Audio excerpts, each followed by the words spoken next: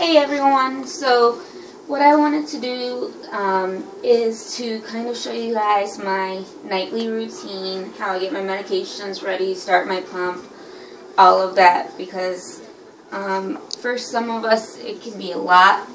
And so I just want to show you the um, I guess a, not tradition but the way that we have started doing it to decrease the time because it used to take me about 45 minutes to an hour to finish my night medications and start my feed. So the first thing that we got is we got a bed table um, and that's where everything is going to go. Um, and I usually wipe it down with baby wipe so that I know it's clean.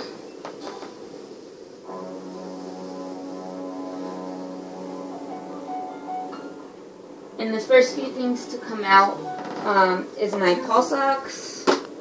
Where's the, what do we do with the, here it is. My blood pressure cuff. And my thermometer, because we check my vitals every night. Um, then I do all my liquid medications first, drawing them up in syringes. So, as I've mentioned before, each medication has its own syringe so that they don't mix by um, before getting into your body to be absorbed.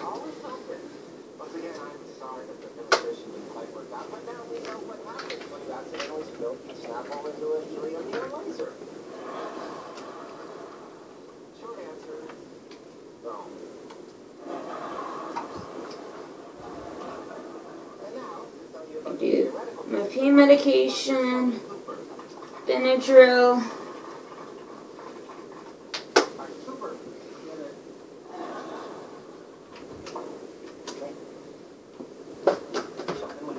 and this right here is an SSRI, an antidepressant medication that we're using to try and control some of my pain. Um, since it is um, an antidepressant medication, they do not want me pushing it through my J-tube because it would be absorbed way too fast. So I draw it up.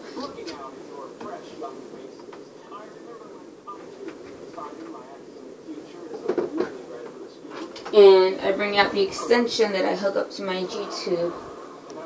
And I kind of just prime it so that I get the least amount of air into my stomach as possible.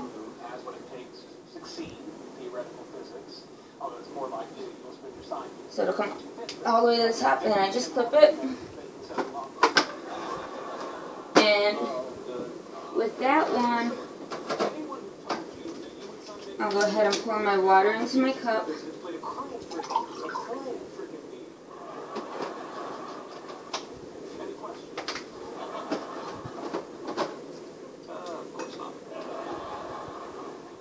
I only flush 10 milliliters behind it because I'm already putting 20 of the medication and I can't handle much more. But what I'll do is I'll pull it up so that there's air here. That way I can completely push everything that's in the tube into um, into the port so that I can close it and there won't be any remnants of medication or water in the tube.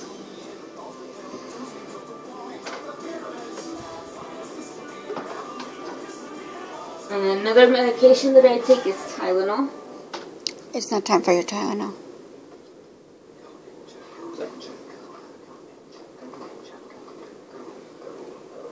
So that would be 30 milliliters. It's not cooperating with me today.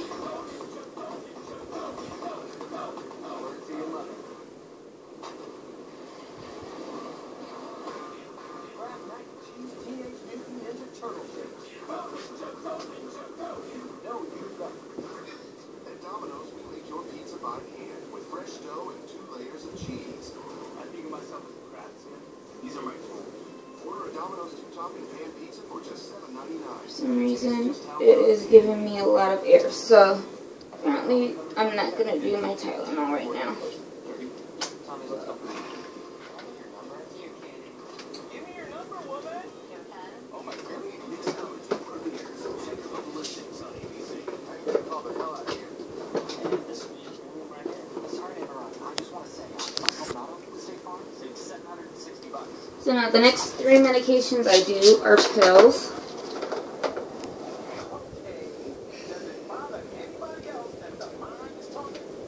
And what I'm going to do is, one of them is Flexeril because I get muscle spasms in my stomach. And I've been getting those ever since my feeding tube was placed. So I take um, the Flexeril three times a day. So I'll go ahead and put it in here. Push it up really good.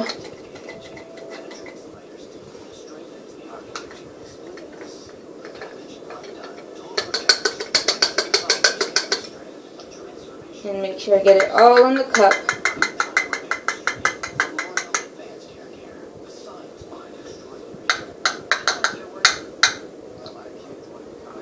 There you go. Then I'll grab my water.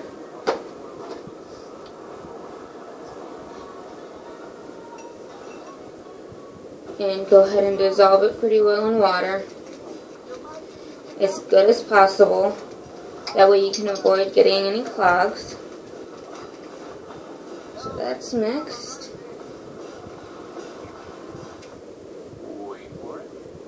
And what I'll do is in between each medication, I'll add more water back into the cup just to make sure that I got all of the previous medication out of the cup. So that's one.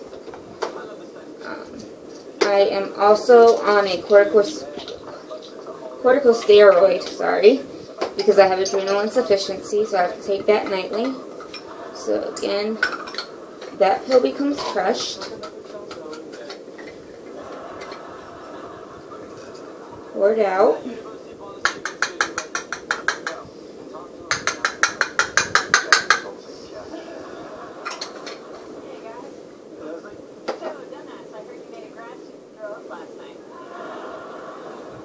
And again mixed very well so that it all dissolves. Um, I use room temperature water, but you can always use warm water from the tap um, to make it dissolve quicker.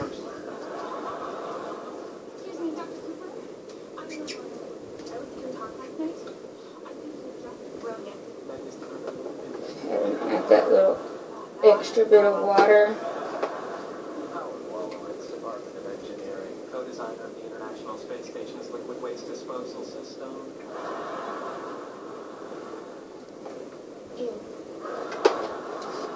And then the third medication are actually capsules. So I don't need my pill cluster anymore. And I take four of these. It's an allergy medication so that I don't break out in hives. And all I do is just open up every capsule and make sure I get all the contents of the capsule out. Liquid waste disposal system is turning a few heads as well.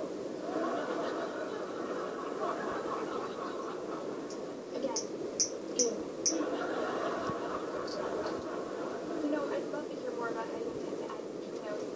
Could we get a cup of coffee sometime? I don't drink coffee. I do. Love me a cup of joe. Well, it doesn't have to be coffee. How about dinner? Right, I know it's your little Italian place. I never use made restaurants. One runs the risk of non-standard cutlery. Excuse me? Sheldon, leader of the three times board. Three times is not a fork. Three times is a trident. One more. Tridents are ruled in the seven seas. What if I brought them to your place? That would be acceptable. On Mondays, I eat tiger. Meat crab and chicken satay with extra peanut sauce from Siam Palace. You got it. I honestly have to address. The capsules can be thrown out. and it's actually quite a bit of medication in there, so it takes a little bit more water than the rest of them to actually get it to dissolve. Oh, yeah, now this thing's majorly out of order. See? Sorry. Okay.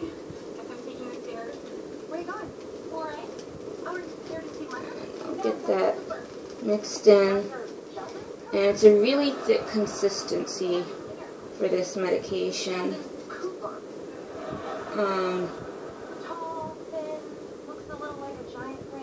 so it takes, like I said, just a little more water to make sure that you get it all. Just a push.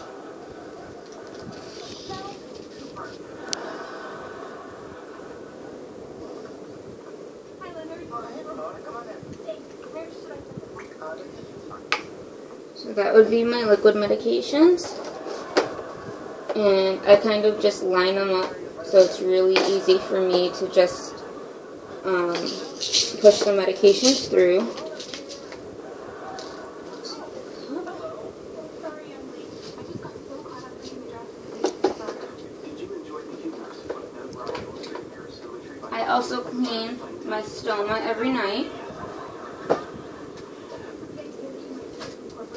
So with that, I have um, sterile cotton swabs, Bacitracin or triple antibiotic ointment, a new tubie pad, saline water, and I also grab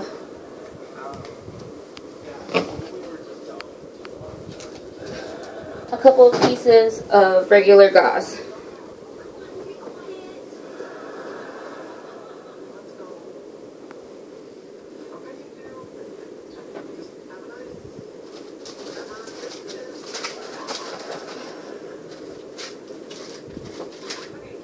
Another thing that I have to do is because I have not used my port today, I have to flush it and hep lock it to avoid any clogs or any clots from forming.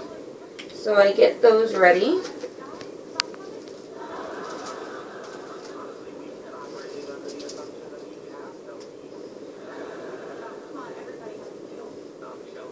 This is just regular saline. And then this right here is um, heparinized saline. I believe one day Sheldon will eat an enormous amount of cotton, split into two shipments. On the other hand, I think Sheldon might be the larval form of his species, and someday he'll spread fluid and emerge two months later with long And I'll grab a couple of alcohol swabs for that. And if I'm going to be running my fluids for the night, I will also, I would set those up. Um, I can also do IV Zofran um, on top of this. And so I would do the IV Zofran and I'd have to add another saline flush to make sure everything gets pushed out of the port and into my bloodstream. The next thing I do is I get my feed ready. So. Get the bag. And go ahead and hang it.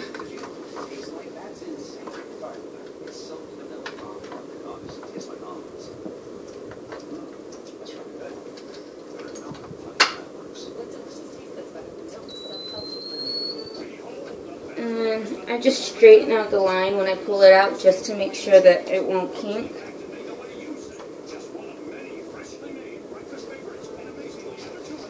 Grab one of my Peptamens and I'm going to be starting with clear settings. So we're going to go ahead and prime the pump.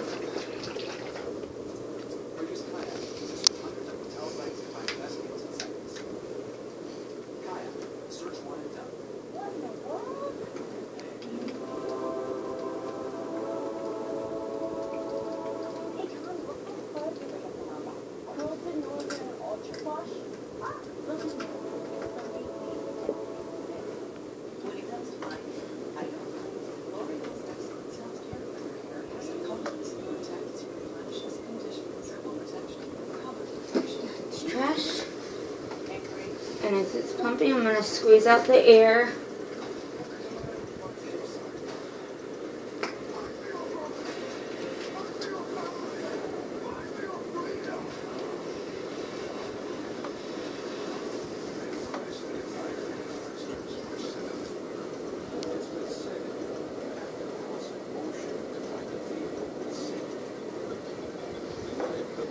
And as soon as it's stops, which like I said previously, usually stops about three quarters of the way,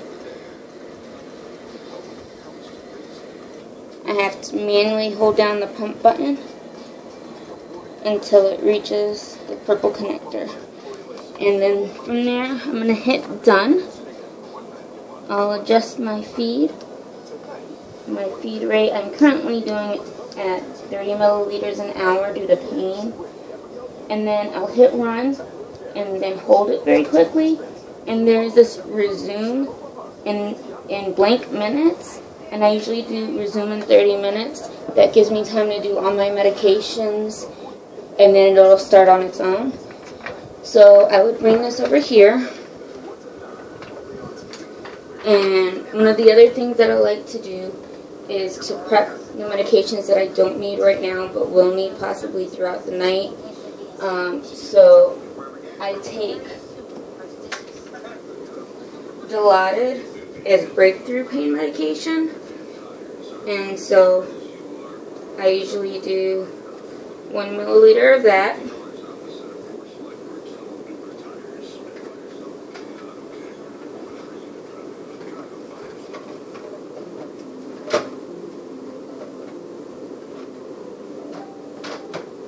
And Got the medication for my dystonic reactions also.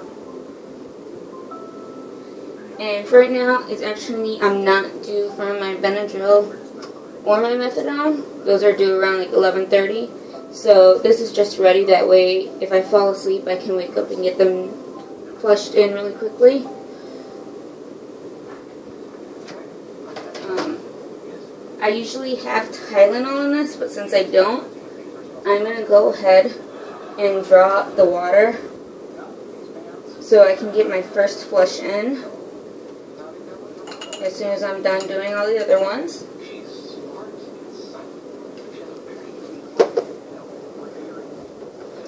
I grab a baby wipe,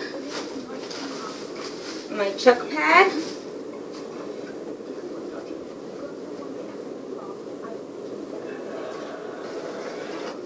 and a piece of paper towel. And then I'll usually go ahead and sit down. And I kind of go from easiest to hardest, um, however that works for you. Um, so for me, that would be, first thing to do would be to flush my port. So you scrub really well. And flush that.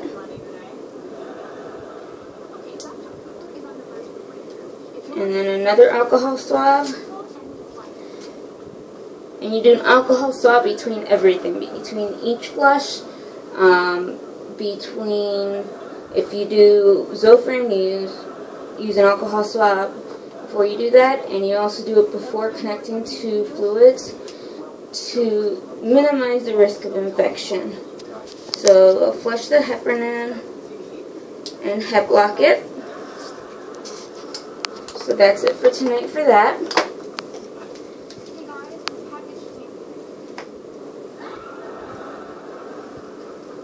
The next thing that I do is clean my stoma. So I'll take my old tubie pad off.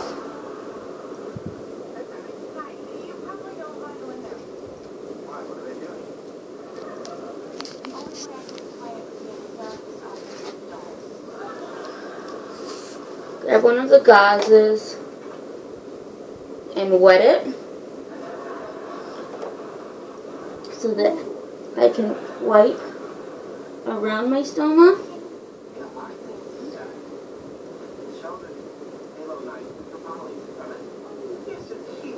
Take the other one and dry it.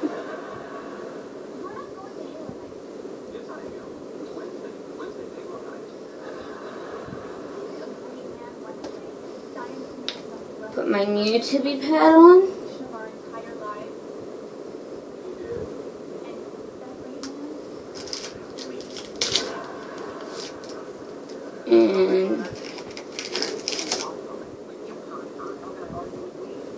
use a sterile cotton swab to put around um, my stoma just because I have very sensitive skin.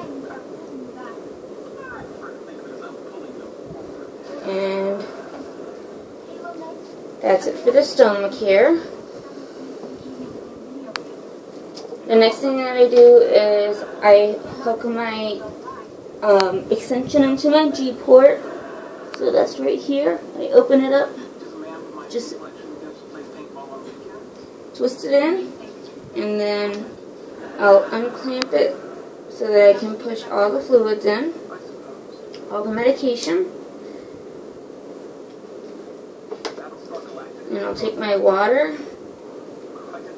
and go ahead and start pushing that in. And like I said, I leave the hair, the air behind it so that it'll push the water out of my tube and actually go into my stomach, ensuring that I get all the medication. Then I can go ahead and take this off because I will not need it again tonight. And then I can start pushing my medications. Um, I usually start with the pill medications so that something can come up behind it and push it out of the tube to make sure that there's no clog. So I'll shake it really well, unclamp it, and what I do is I like to push in a little bit and then shake it again in case it starts settling. And just do that a couple of times.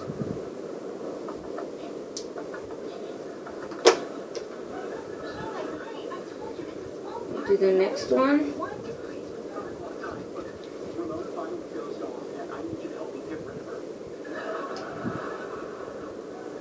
Get rid of her how? I don't know. Apparently, I'm in some kind of relationship. And you seem to be an expert in anything. More. Excuse me? Uh, I see man after man leaving the farm and never coming out. First of all, it's not And what I'll do, what I'll is grab my cup of water and make sure that it's clean and all the medication is out of the syringes.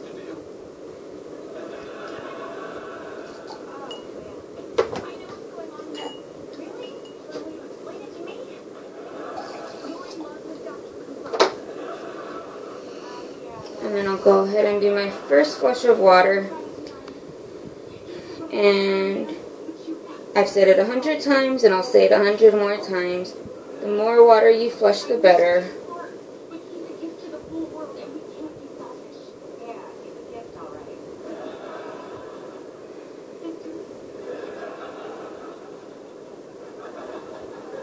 Sure.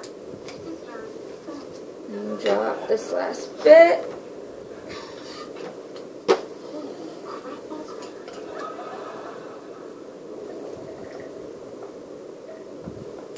I think there's a crack in this.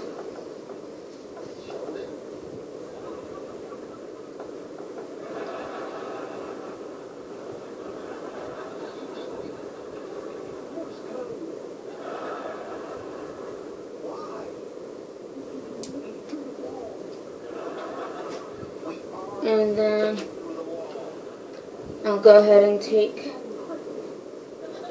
my connector for my feeding tube and put that in.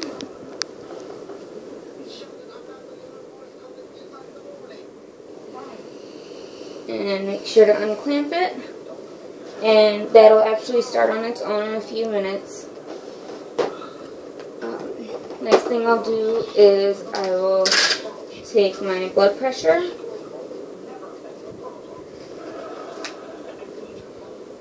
And also use my pulse ox.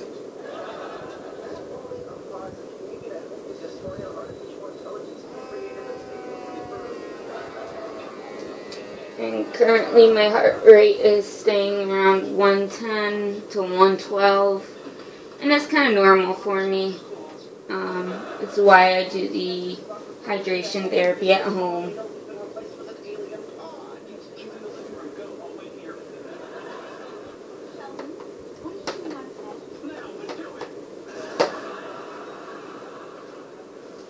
No, you need your sleep in order for your cognitive process to perform at optimal levels. That's wrong.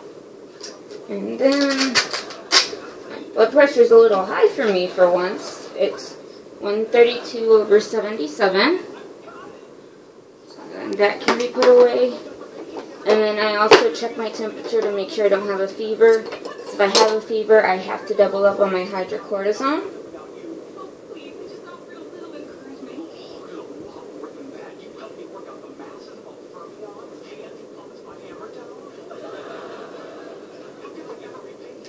Well, would you consider naming it the Cooper Nowitzki syrup?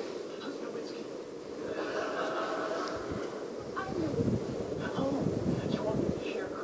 Uh-huh.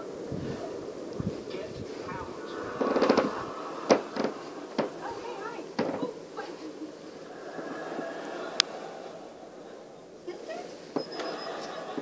And my temperature is 98.2. So there's no fever. And the last thing to do is to get all of this just cleaned up, the trash thrown away, and allow my feet to start.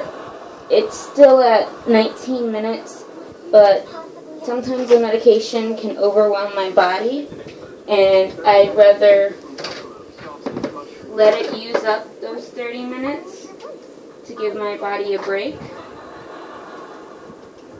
instead of overwhelming my body by starting my feeds immediately. So these all get put away.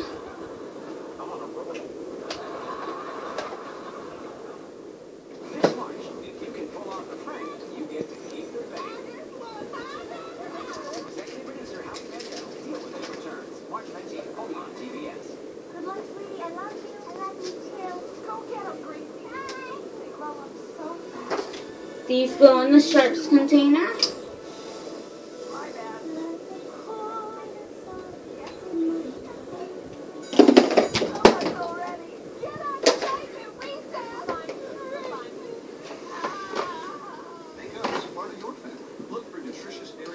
And one thing that I did forget is my Prilosec that I take nightly for reflux. Or for reflux, because lately I've been having a lot more of it and that makes me more sick. So I take two of those at night. Maybe you should call the police. Then yes, get up and get the hose. They're just lucky our program is coming on. Some people want more out of life, and we insure the things that make more possible. Safeco Insurance. Hi, it's Edna. Follow Marty and me as we cheer on Team USA. And then once again, I will clean off my table, my cup away, fold up the chuck because it can be reused.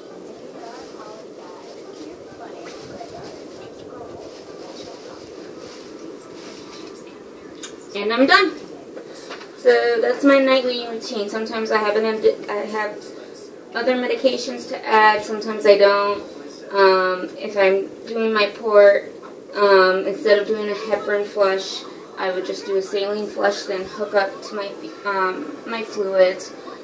If I needed to do IV Zofran, I would have a second saline flush to push after the IV Zofran. It just depends on what's going on that night. But um, we have found that this routine works a lot quicker for us. Um, and what I've been doing lately is starting about 5 o'clock, I'll start getting my medications ready. That way, 9, 10 o'clock rolls around. If I'm too tired, everything is ready. We just have to get it into me and then we can go to sleep. Um, if you guys have any questions, let me know. Thank you.